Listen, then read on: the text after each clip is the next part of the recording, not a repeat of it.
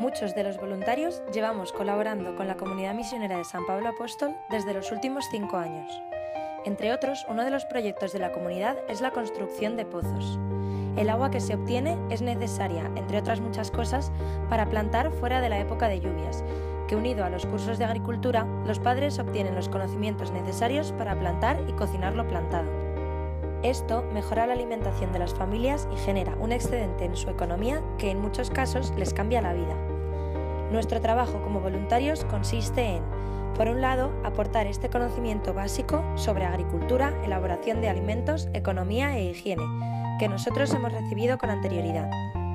Y por otro, hacer encuestas de seguimiento todos los veranos para estar al tanto de las necesidades y revisar el cumplimiento de los compromisos que se les pide antes de construir el pozo.